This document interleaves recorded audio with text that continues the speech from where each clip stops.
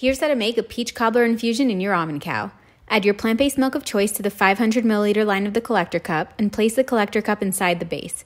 Add stewed peaches, biscuits, vanilla ice cream, and cinnamon to the filter basket. Attach the filter basket to the top and the top to the base. Press the cow, and when the green light stops flashing, your peach cobbler infusion's ready.